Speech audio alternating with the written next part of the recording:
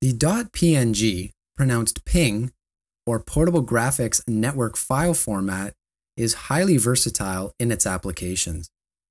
It is capable of supporting up to 48 bit images, which gives us 16 bits per channel, and 16 bit grayscale images. These bit depth capabilities provide an alpha channel which allows us to take advantage of varying transparency. The PNG format is lossless compression based, meaning it will not degrade in quality even after multiple transfers or recompressions. This allows for a true replication of a raw image with a reduced file size.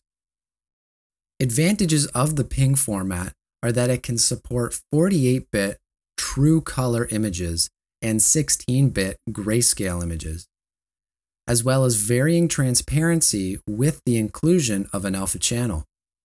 Lastly, its lossless compression means no degradation in the quality of the image.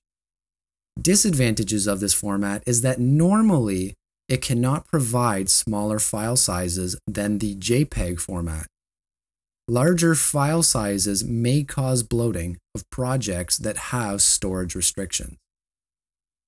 If you are transferring an image across multiple platforms and require zero degradation in image quality, the PNG format would be most ideal. PNGs are widely used online and in games and are a solid choice of format as they provide lossless compression at a reasonable file size.